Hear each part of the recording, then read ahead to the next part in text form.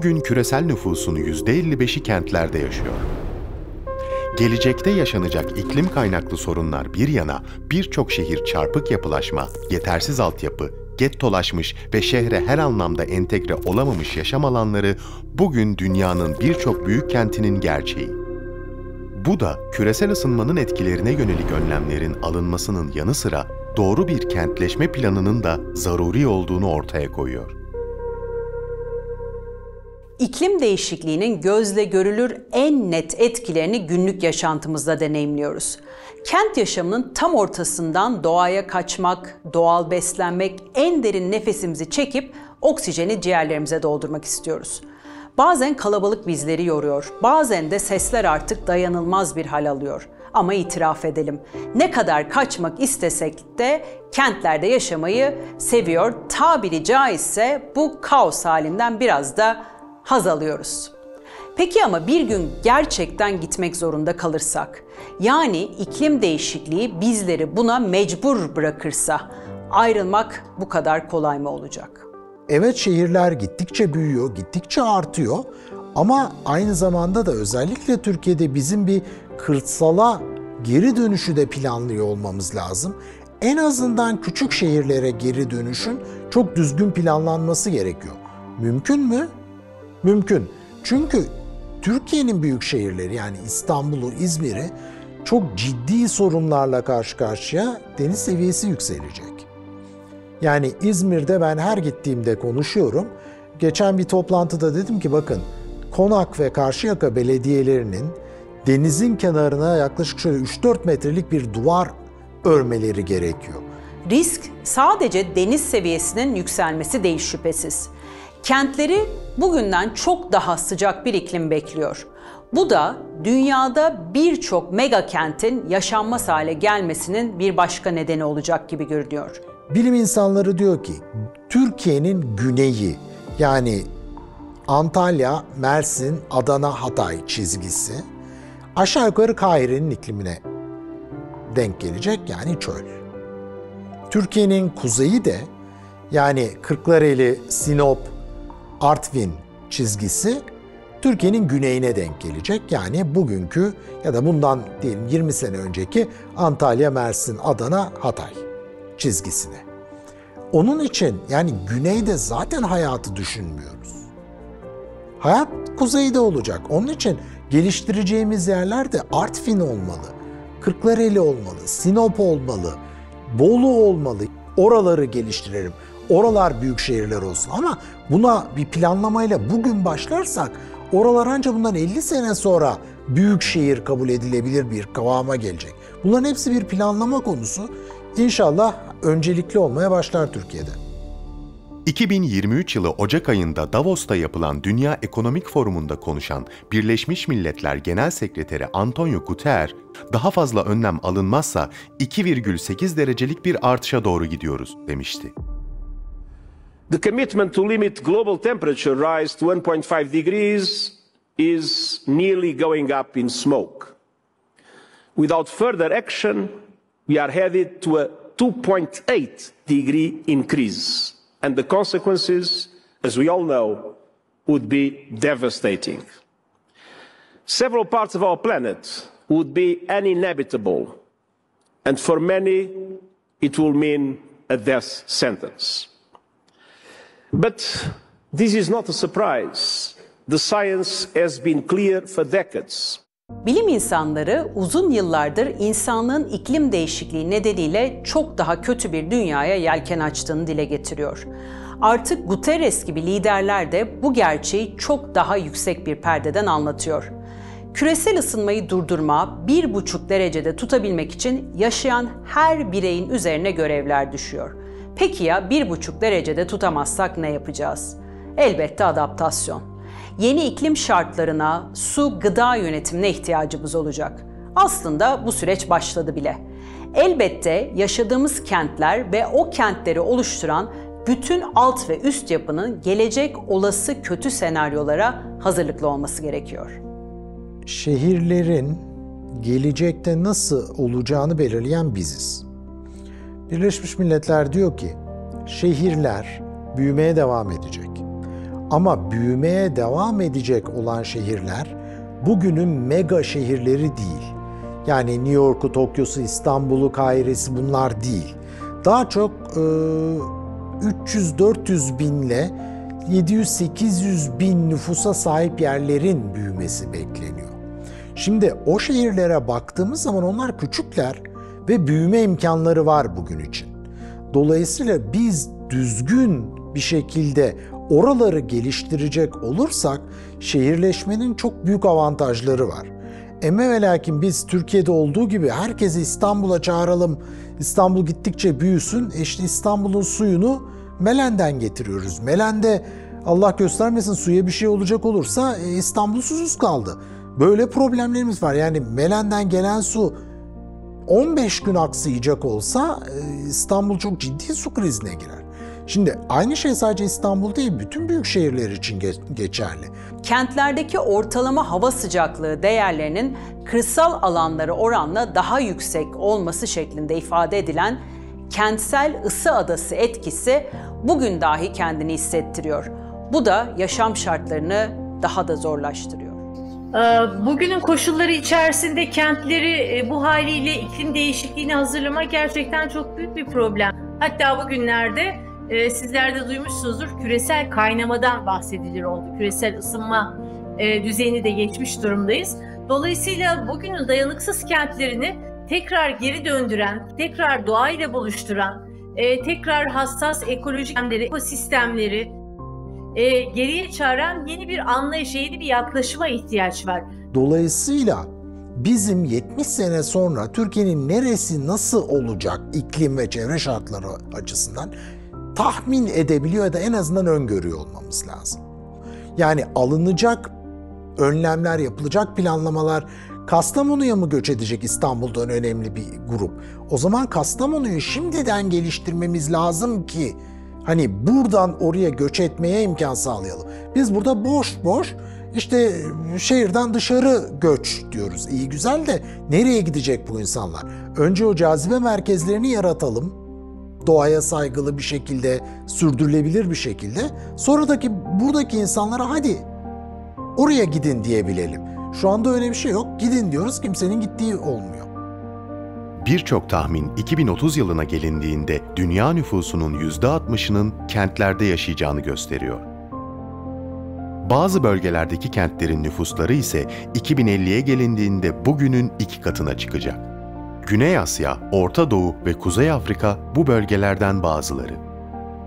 Bugün bile fırtınalar, kasırgalar, kuraklık gibi doğal afetlerden fazlasıyla zarar gören bu bölgeler gelecekteki senaryonun provalarını yaşıyor. Gözümüzle gördüğümüz bu gerçek bizleri harekete geçirmeye yetmiyor mu? Şehirler giderek ısınıyorlar. Yağış yok, e, yağmur yok, kar yok.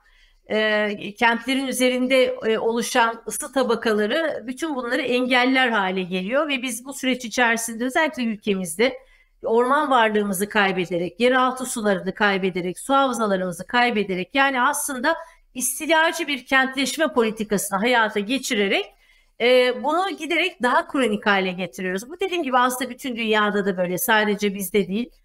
Dünyada en sık ele alınan iklim riskleri ile ilgili yapılan çalışmalar deniz seviyesinin yükselmesi, sağlık ve su kaynakları ile ilişkilendirilmekte.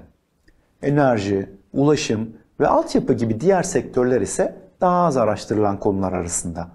Aslında şehirler yoğun bir insan hizmet ve altyapı yoğunluğuna ev sahipliği yapan karmaşık sistemler olduğu için genellikle ulaşım, su ve enerji gibi kaynaklara yeterli ve güvenli erişim her zaman en büyük problem olmuştur.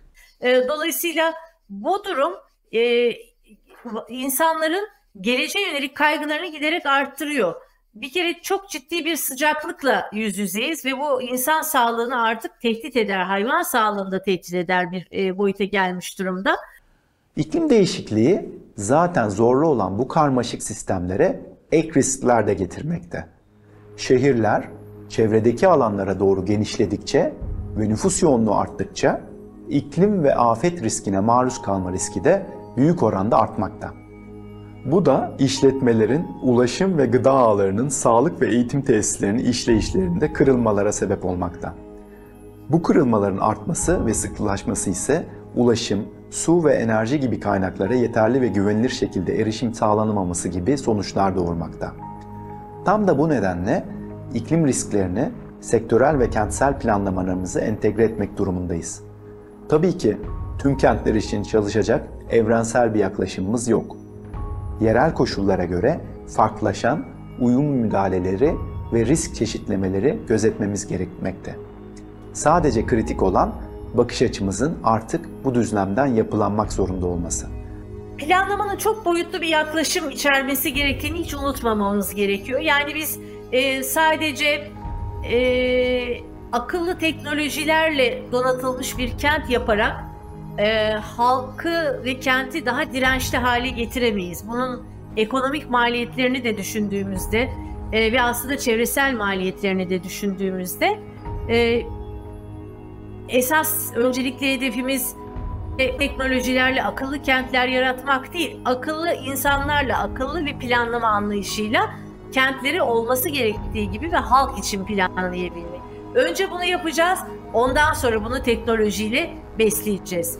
Şehirlerimizi ve kırsal yaşam alanlarımızı iklim dirençli bir planlama ile yeniden yapılandırmamız şart. Basitçe şöyle açıklayalım. İklim değişikliği dediğimiz şey barınma şekillerimizi, ısıtma ve soğutma biçimlerimizi, su ve gıdaya erişimimizi yani tüm yaşam alanımızı ve konforumuzu kökten etkileyen bir olgu. Bu geniş etki alanı ekonomik ve sosyal kalkınmayı sekteye uğratabilir, güvenlik açıklarını arttırabilir. Dolayısıyla yaşam alanlarımızı yepyeni bir bakış açısıyla yeni durumu adapte etmemiz gerekmekte. Tam da bu sebeple iklim değişikliğine karşı daha dirençli hale gelmek ve bu krize uyum sağlayacak uygulamaları geliştirmek şehirlerimiz açısından en büyük önceliğimiz. Gelecekteki kentsel gelişimle ilgili kararların çoğunun iklim değişikliği hakkında yapılan araştırmaların göz önüne alınarak verilmesi gerekiyor. Ne kilometre ne de tarih olarak çok uzağa gitmeyelim. Türkiye'nin en büyük şehri İstanbul'daki tehlikeye odaklanmışken 6 Şubat'ta yaşanan, ülkemizin 10 ilini birden etkileyen büyük depremlere bakalım. Resmi rakamlara göre 50 binin üzerinde kişinin hayatını kaybettiği depremler doğru bir kentsel planlamanın ne kadar hayati önem taşıdığını ortaya koyuyor. Biz bugünlerde kentsel boşluk meselesini konuşuyoruz mesela e, ağırlıklı olarak. Çünkü kentlerimizde boş alanlar kalmadı. Biz bunu nasıl tükettik? Kamusal alanlarımızı yok ettik. E, işte İstanbul'a bakarsanız e, birçok kamu arazisi daha 80'li yıllardan başlayarak ama özellikle 2010-11 yıllarından itibaren sistematik bir şekilde tüketildi. Halbuki bu alanlar gerçekten de kentleri iklim değişikliğine karşı dirençli hale getirecek bir afetler açısından e, kullanılabilecek boşluk alanlarıydı ve böyle kullanılmalıydı. Ama kentler o kadar betonlaştı ki e, açık alanlar yok, orman alanları yok, yeşil alanlar yok, e, rüzgar koridorları e, yok. Bütün bunları aslında o sadece ekonomiyi önceleyen kentleşme politikalarıyla biz ortadan kaldırdık. Bizim şu andaki sorunumuz tasarımda yani kentsel tasarımda, mimaride herkesin bunun bir 50 sene öncesindeki düşüncelerle hareket ediyor olması. Onda da sorunlarımızı sıralayın dediğimiz zaman en tepeye iklimi koymak zorundayız artık. İklim okey. İşte ondan sonra nüfus yoğunluğunu koyacağız. O insanlara su sağlamayı koyacağız. Ondan sonra işte içinden geçen yol şuraya gider. E, efendim e, şu kadar katlı olur. Alışveriş merkezi burada. Onlar bunun çok altında gelen şeyler. Biz ne yazık ki tasarımlarımızı diğer faktörlere göre yapıp en alta iklim değişikliğini koyuyoruz. En alta iklim değişikliğini koyduğumuz zaman da e, çok ciddi sorunlarla karşılaşıyoruz. Geleceğe karşı kentleri daha dirençli hale getireceksek e, kamudan yana kamucu politikalara, sosyal politikalara ve bunların planlama alanına entegrasyonuna ihtiyacımız var. Yani halktan yana olan, e, insan ölçeğinde olan plan yaklaşımına ihtiyacımız var. Afetler karşısında e, bir süre kendine yetebilecek şehirler yaratmaya ihtiyacımız var. Bunun için tarım alanlarını korumak durumundayız, su havzalarımızı korumak durumundayız, orman alanlarımızı, kıyılarımızı korumak durumundayız ve bunlara vatandaş erişimini sağlamak durumundayız. Geleceğin şehirleri için şu anda bizim için en önemli e, ilkeler bunlardır diyebilirim. Hiç şüphesiz kentlerin yeniden inşasında göz önünde tutulması gereken kritik faktörler bulunuyor. Yeşil alanların korunması ve zenginleştirilmesi, enerji tasarrufuna odaklanırken verimliliğe önem verilmesi, kent içi ulaşımın yenilenebilir enerji merkezli tasarımı, atık yönetiminin doğru yapılması bunların başında geliyor. Kentlerin adaptasyon süreci oldukça uzun ve oldukça yüksek maliyetli olacak. Tabii teknoloji, malzeme çeşitliliği, bilgi birikimi burada oldukça önem taşıyor. Malzeme biriminin yanı sıra mimari, yapı teknikleri hızla gelişiyor. Akıllı şehir uygulamaları yavaş yavaş da olsa başarılı sonuçlar veriyor. Yine de bunlar 30 yıl sonra yaşayacağımız kötü senaryoları değiştirmeye yetecek mi? Elbette ilerleyen yıllarda iklim açısından işler kötüye giderken bu süreçlerin daha az etkileneceğimiz teknolojiler geliştirilebilir. Sullivan'ın dediği gibi form işlevi takip eder. Bu anlamda sürdürülebilir mimari ve sürdürülebilir malzemelerin iç içe geçmiş bir zincirin halkaları olduklarını söylemek mümkün. İlk aşamada mimarın zihninde bir olgu canlanır. Daha sonra görsel bir çıktıya dönüşür yani mimari fikir hayat bulur. Bir forma bürünür. Bu formu gerçekliğe döndürecek elbette malzeme ve özellikle sürdürülebilir malzemelerdir.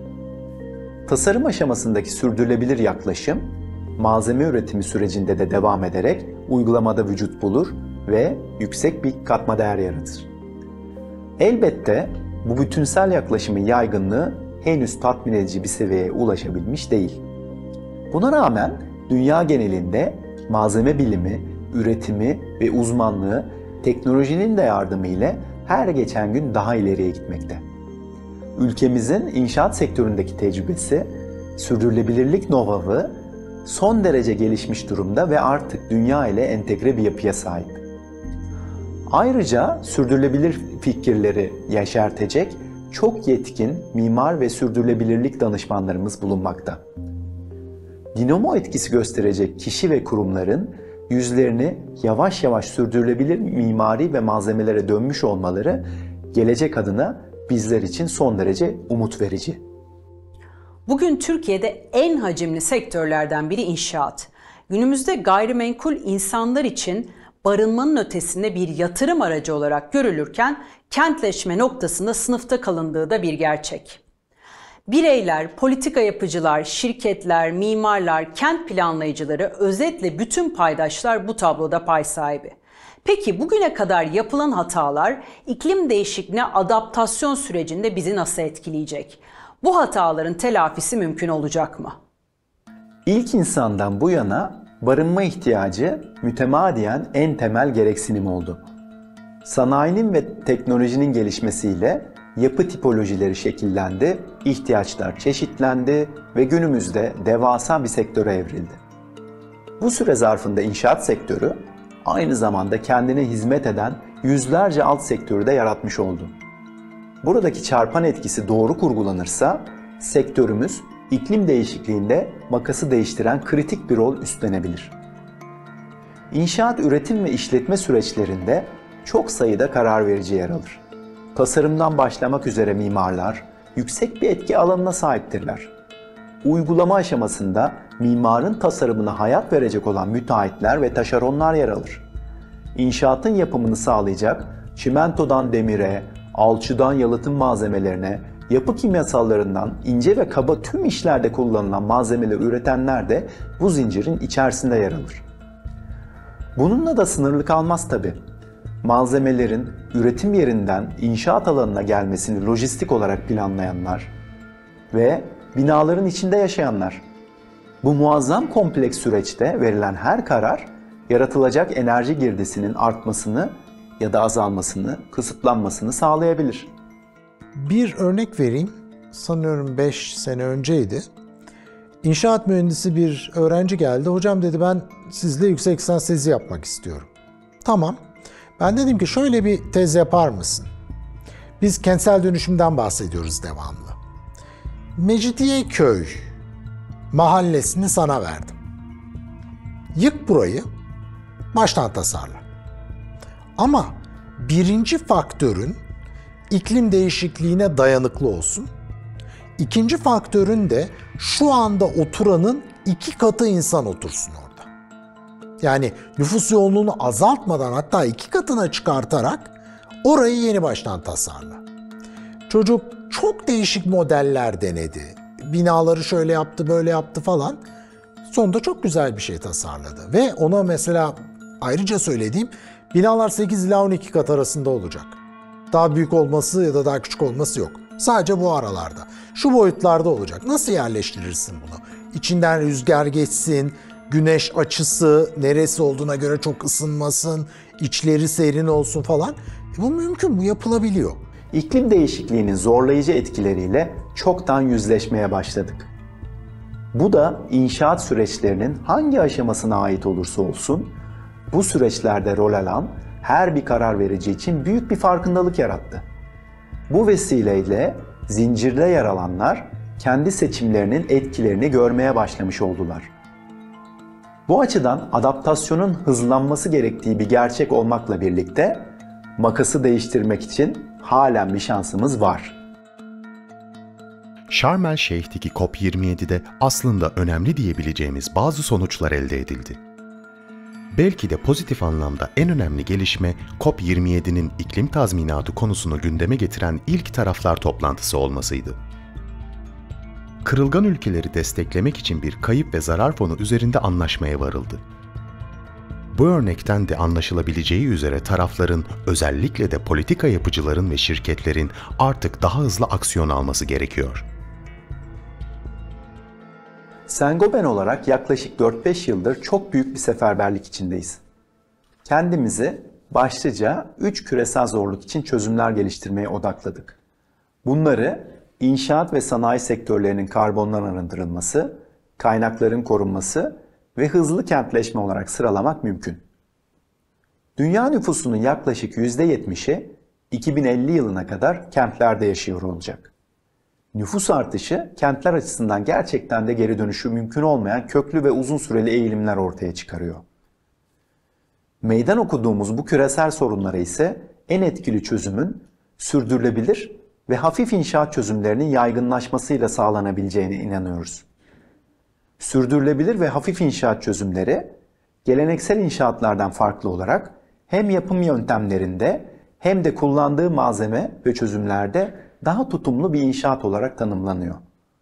Bunu daha az karbon emisyonu üreten, daha az kaynak tüketen ve daha yüksek konfor sağlayan bir yaklaşım olarak da açmak mümkün. Üstelik malzemelerin geri dönüşümleri ve yaşam döngülerinin sonunda sökümlerinin daha kolay olmasını sağlıyor. Aslında bir dizi aşamayı kapsayan pek çok açıdan avantajlı bir durum. Daha kısa imalat süreleriyle finansal tasarruf sağlamak da bu kapsama dahil. Bu sayede inşaat sektöründen kaynaklı sera gazı emisyonlarını 3'te 2 oranına kadar azaltmak mümkün. Bunu son derece önemsiyoruz. Zira sektörümüzü karbondan arındırmak, kaynaklarımızı korumak ve hızlı kentleşmeye karşı sağlıklı bir rota izlemek verdiğimiz mücadelede hayati bir önem taşıyor. Kentler gelecek 50 yılda bugünden daha kalabalık olacak. Bugün birçok sorunu olan kentleri bu süreçte çok daha büyük bir sorun bekliyor. O da iklim değişikliğinin etkileri. Bilim kurgu romanlarında okuduğumuz ya da yine bilim kurgu filmlerinde izlediğimiz felaket sahnelerinin yaşanması kaçınılmaz olabilir. İnsan nüfusunun diğer birçok canlı türüyle birlikte büyük ölçüde azalması riski bizi bekliyor. Bu yıkımın önemli bir kısmının dünya nüfusunun yarısından fazlasının yaşadığı kentlerde olması kaçınılmaz gibi duruyor. Bu da istikametin kentleri iklim değişikliğinin etkilerine hazırlamak olarak belirlenmesini beraberinde getiriyor.